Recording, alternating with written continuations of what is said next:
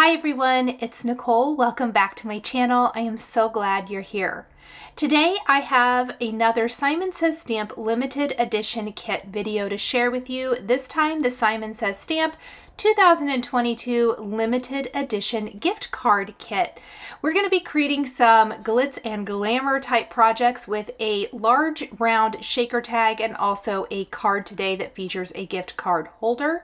I'm first going to walk you through the components in the kit in real time with the Thermoweb Pixie Dots, some Iron Gate Mica Stain, one of my favorite colors, some silver embossing powder from Simon Says Stamp, some Tim Holtz Idea-ology wreath ornaments, or adornments, I guess I should say,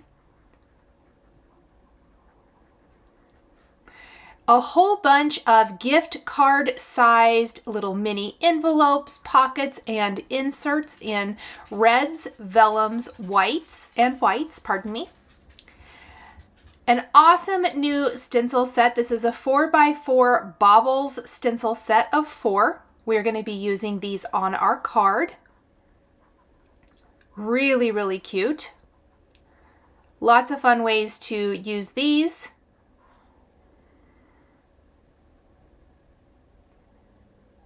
Some beautiful ribbon. This silver ribbon is so, so pretty. This is the May Art Silver Glitter Ribbon. I'm going to be using this on my large round ornament.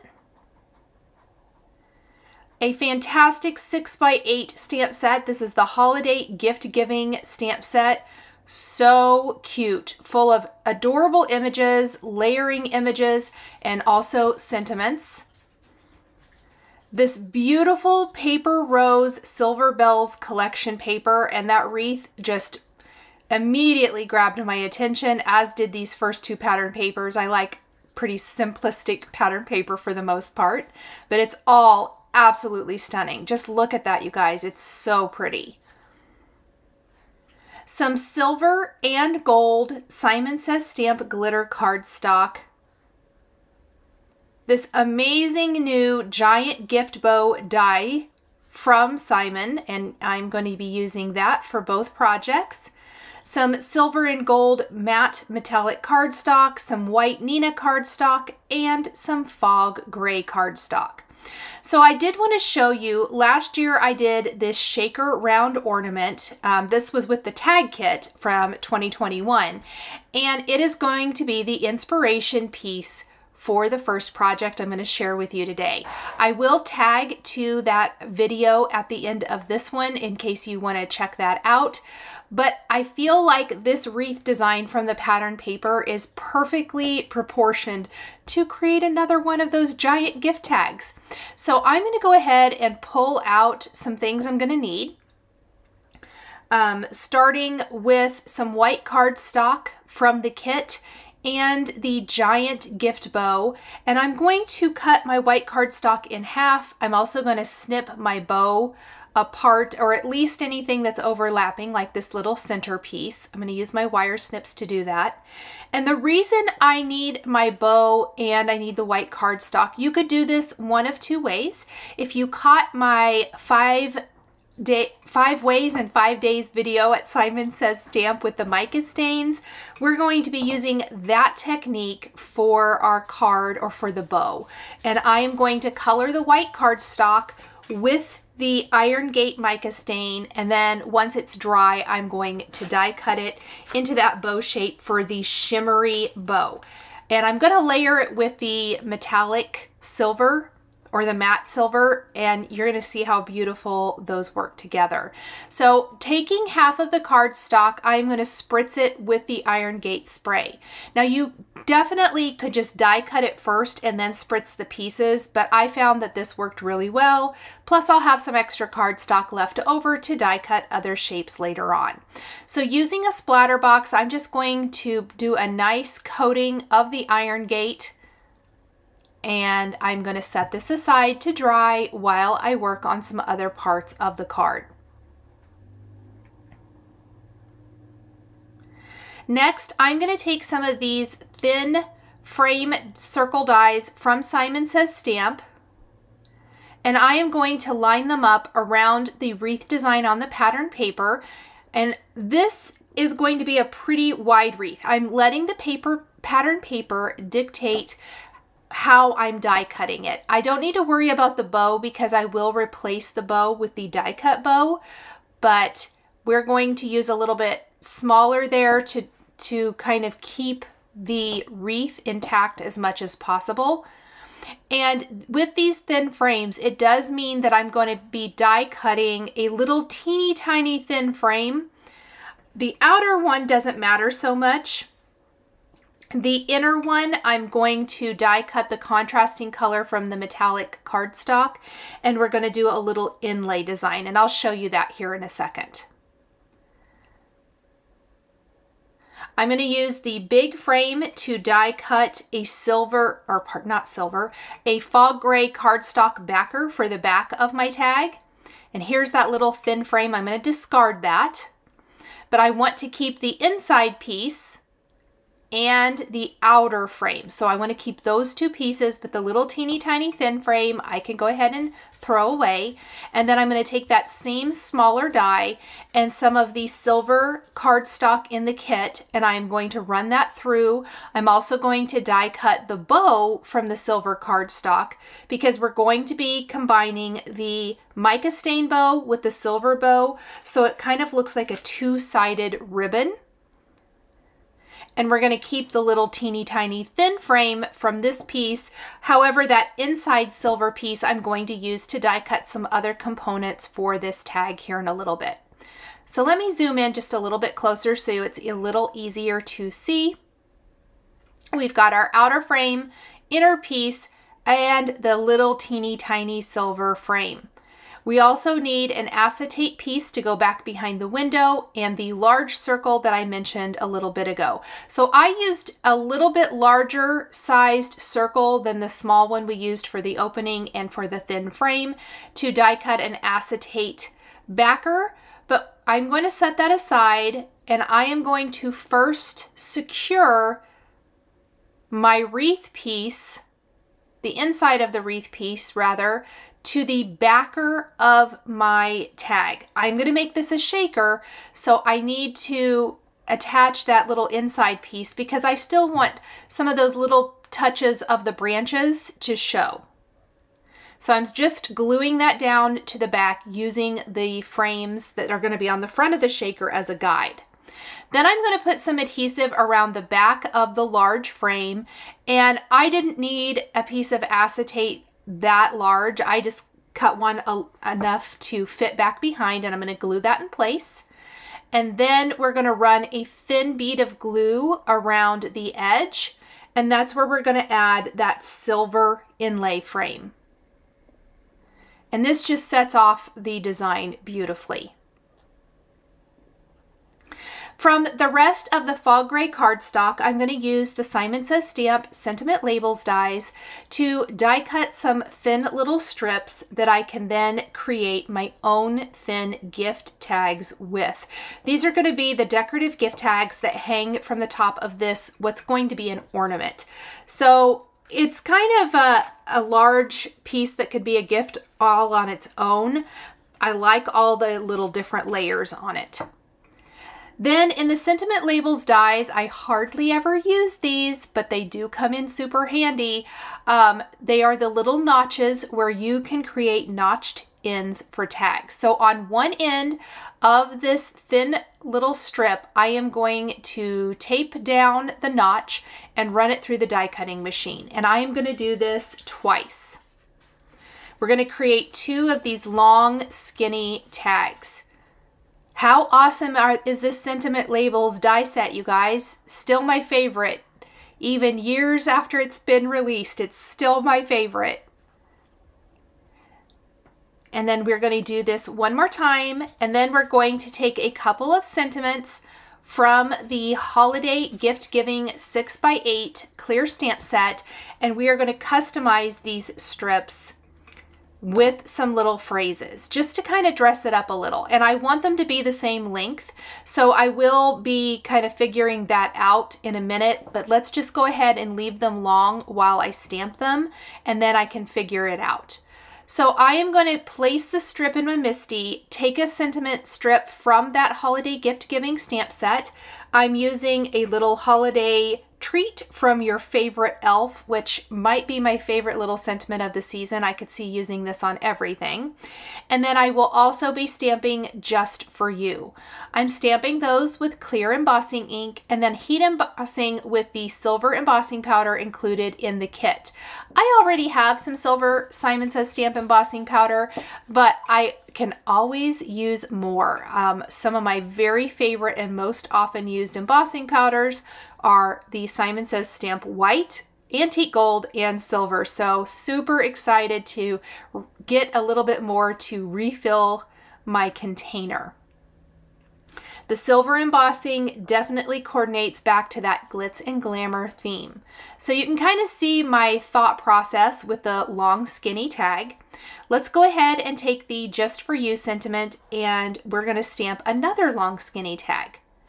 I did find in my Misty that they stamped a little bit better um, in the middle of my Misty, unfortunately, instead of on the edge, but it all worked out.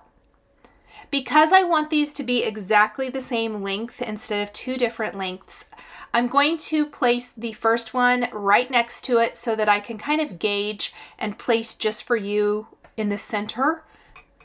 On either end of this sentiment, I will be adorning it with some little snowflakes for added interest. And again, just going to ink that up with clear embossing ink, heat emboss with silver embossing powder, and then we can go back and take our sentiment labels die and we can trim these to the same length.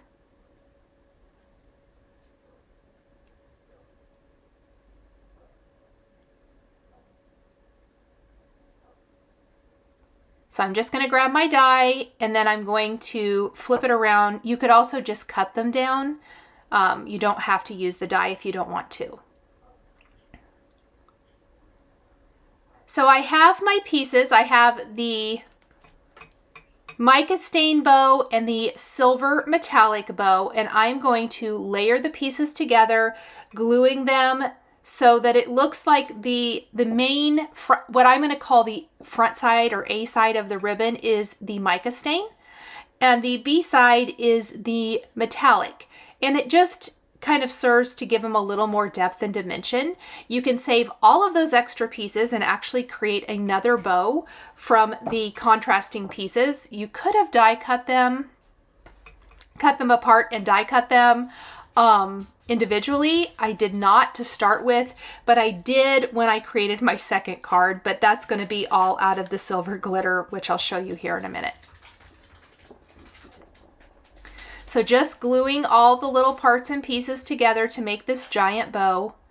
It's going to be really, really pretty and eye-catching, I think. I like how it has all of these fun loops and then the little notched ends of the tails.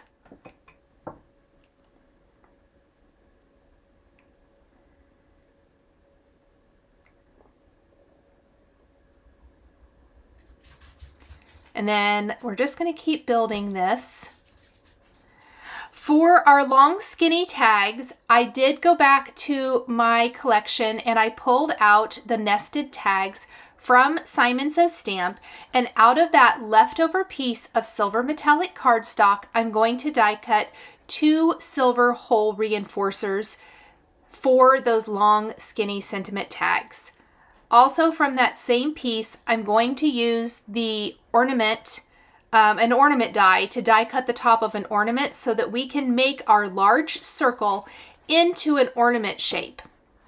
Now that I have my bow assembled, I'm going to put some glue right on the front of my shaker and I'm going to glue that bow down. Look how pretty that looks right on our wreath. I love this.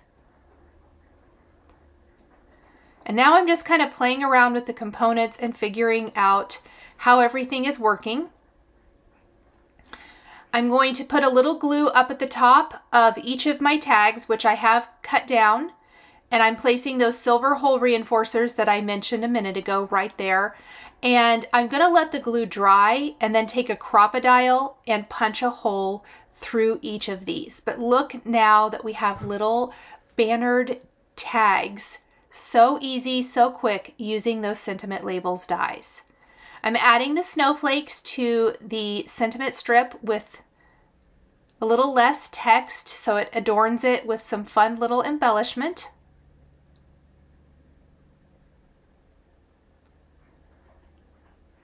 And then I'm going to take my front of my shaker and I'm going to take the Merry Christmas from the holiday gift giving stamp set and I am going to kind of break it up into two lines of text instead of one line of text. You don't even really have to mask anything off if you're careful.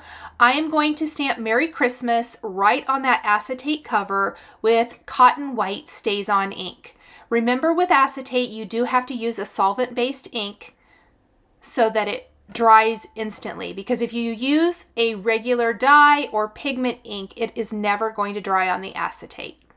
Then I dye, or pardon me, punched holes through my mini tags and I'm going to take the Simon Says Stamp foam adhesive and pull the backing off so that I can manipulate this foam adhesive into a circular shape.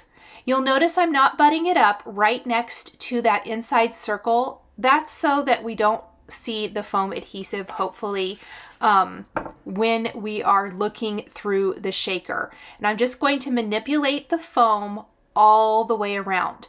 By removing the other side of the adhesive, it makes it very easy to kind of curve so that you can have that nice continuous line of adhesive.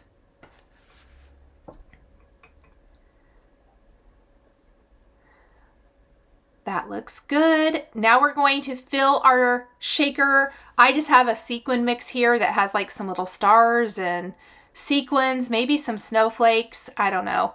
Whatever I had in this little leftover container looked like it matched good. I'm going to line up my front of my shaker and just pop that down in place. So pretty. I love it. think this would look so nice on an elegant styled tree. Now we need something to hang this tag. And for that, I want to turn it because our tag is a, a, round ornament shape. I used this ornament die set from Simon Says Stamp and I die cut it twice from that leftover silver cardstock from the kit. Doesn't even have to be super nice. I'm going to glue them back to back and then I'm going to take a little bit of glue just along that curved edge and we are going to pop that in between the two layers of our ornament and secure it so that just the top of the ornament sticks out from our circles. This is going to be the perfect spot to be able to tie our beautiful ribbon from the kit from. So I'm going to cut a little length of this and thread it through my ornament and we're simply going to knot it up at the top. And I have a special pair of scissors only for fabric and ribbon, never for paper. And I'm going to knot those. And then I also am going to take from my stash, I am going to take some silver twine and we're going to tie the two little mini tags to the ornament hanger, which I'll show you here in a minute. I think that's going to work the best and look the best. Oh, that's so pretty. I love that little silvery ribbon ornament hanger. Now I'm going to play around with my long tags and figure out how I want to place them on my card. I'm going to take that silver twine I just mentioned. I'm going to thread both of the tags through there. I'm going to tie that right to the top of my gift tag, tie it into a little bow, and that is going to be it for our gift tag. So pretty, so elegant, very, very fun to create and something you can do a little different with the gift card kit. So yes, this kit is kind of the idea behind it is to create gift card holders, gift cards uh, to hold gift cards or cards to hold gift cards, I guess I should say. But you can also create all kinds of other card making, paper crafting type of projects with this kit. I love how that turned out and the shaker of course is beautiful. So for my second project, we're also going to be creating an elegant gift card holder. And I thought it would be fun to use the little mini envelope in kind of a non-traditional way where we're not going to use it necessarily as the envelope, but more as a design element on the card. So I'm going to place it in my Misty first and take this image from the holiday gift giving stamp set and stamp right over the little vellum envelope again with the cotton white StazOn ink because on vellum uh, if you don't want to emboss this is a great way to uh, use something that's going to dry immediately. So we've got like the falling snow on the vellum which I love and then there's some white inserts in the kit and I am going to use those to fill the envelope. But first we need to decorate it. So I'm going to be using the Baubles 4x4 inch stencils and the gray inks from Simon Says Stamp in flannel, earl, and charcoal. And these match the look and feel that I'm trying to achieve with this kit perfectly. So three colors of ink. First, I'm going to do the base color of my ornaments, which is either going to be flannel or earl. And then I'm going to layer on a darker element using the stencils. So we have three little hanging ornaments on this little gift card. I'm using a magnetic mat to help hold everything down and in place while I work. So next I'm going to grab a layering stencil and I ended up not using this one. I'm going to use the other one instead. So I'm going to start with the swirl design for the ball ornament. I'm going to go back with the Earl color over flannel. And then over the Earl color, we're going to use charcoal.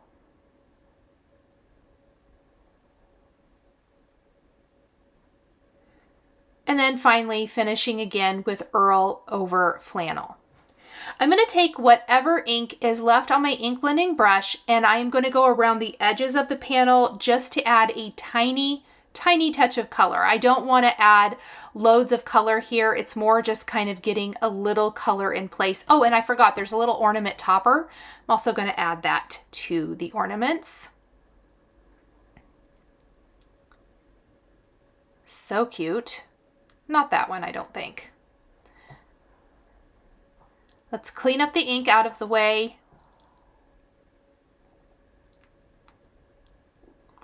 And then take our blending brush and here's where I'm adding just a little bit of color right around the edges so it's not so stark white.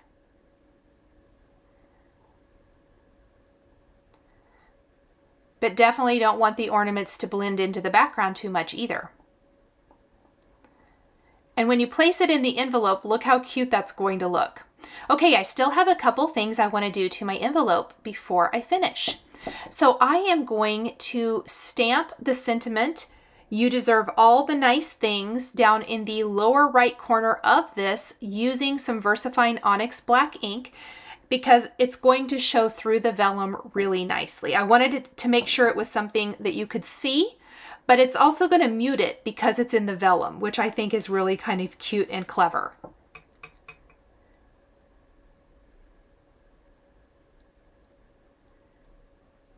I also want to draw on some ornament hangers for my ornaments so it looks like they're hanging. You could freehand this. I did use a T-square ruler and a black pen so that I could line them up perfectly, but it's not necessary.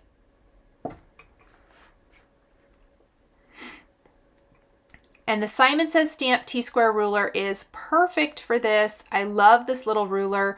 It's one of my top favorite tools in my craft space. There we go.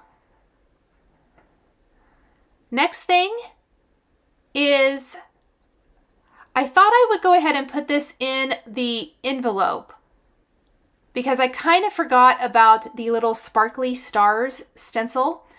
So we'll come back to that guy here in a minute. I did, I placed my insert back in the envelope and I'm going to use it as a guide because I do want to stamp on the envelope itself, get whatever you want. We're going to stamp that with clear embossing ink and heat emboss with the silver embossing powder.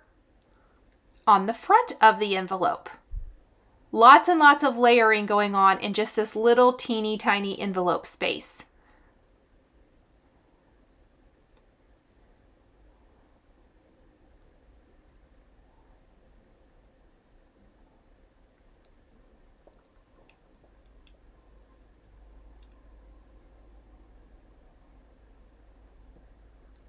There's my powder tool.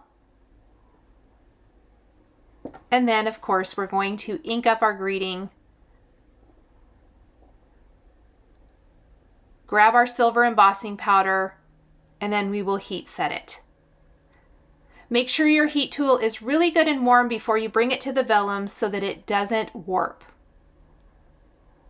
Perfect. And I lo I'm loving how this looks. I think it's going to be really, really pretty on our card. I'm going to clean my stamp, put it away, and we just have a couple of things left to do. So I want to use this pattern paper. I love the Paper Rose Silver Bells pattern paper from the kit. So I definitely think I want to add another bow. I want to use this wood grain paper and the glitter. But I realized here's the sparkle stencil. So we are going to take that sparkle stencil and I am going to take some silver bells. Kind of funny that it's called silver bells with uh, Picket Fence Studio um, glitter glitz and we're just going to place this right through this stencil to create some glittery, sparkly little stars. And I love the texture these provide. You definitely could leave them probably out of the vellum for a little bit more of a showy look. But look how pretty that is. I'm going to immediately go clean my palette knife and stencil and then I'm going to assemble the bow. This time I've die cut the bow all from the silver glitter cardstock included in the kit. Now because there's not enough cardstock in the kit to use as the backer for my marquee die cut. You can see I used the Simon Says Stamp A2 marquee die to die cut my panel, my pa pattern paper panel, and I'm backing it with the glitter cardstock. I die cut the biggest portion of the bow from the center of that background panel. No one is ever going to know, and that way I'm not wasting all of the beautiful glitter cardstock back behind another piece of paper. Then from the rest of the paper, I die cut the layering pieces. So a really great way to make the most of the specialty paper included in the kit. This time, instead of layering everything flat, I'm using foam adhesive squares to layer on anything that goes on top of the big piece there on the back. And this is going to help add to the depth and dimension since we aren't adding um, a contrasting color of paper. I'm going to put two foam adhesive squares in the center for the center of the bow. And I need to line that up a little bit better.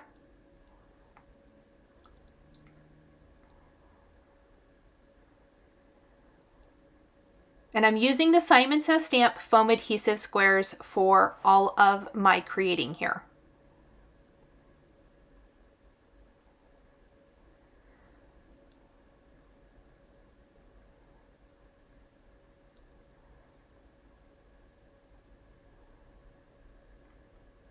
Once I have that where I want it to go and my stencil or glitter paste is all dry, I can insert my little card with the bubbles and phrase back into my envelope and we are going to secure that to our card. So first in here you can see where I die cut the main part of the bow from that glitter cardstock. I'm going to put some liquid glue on the back of this panel and glue it down to the glitter cardstock. I have found with glitter cardstock that liquid glue generally works the best if you don't want it to accidentally pull up. I'm going to put something heavy on top like an acrylic block to help hold that nice and flat. One of the things I like about that wood grain cardstock is that even though it's very light tone on tone, there's still, still a little of distress to it. I'm going to glue the envelope right to the center of this panel, almost like it is a gift package. It's kind of how it ended up looking. It wasn't my original plan, but I like it. I'm going to put some glue on the back of the vellum envelope and glue that right in place. Another fun idea would be to take these envelopes and use them as shakers on your card. I think they would make amazing shakers uh, without having to assemble your own. I'm going to glue the bow to the top and I'm just going to clamp it down with some reverse tweezers while that glue is drying. Then I'm going to take some more liquid glue and I'm going to secure this whole thing to a white side fold card base, which is going to have a nice white border all the way around. I think this measures about four by five and a quarter. And finally, I'm going to add some white snowflake embellishments from my stash to my card, just kind of scattering them throughout the design.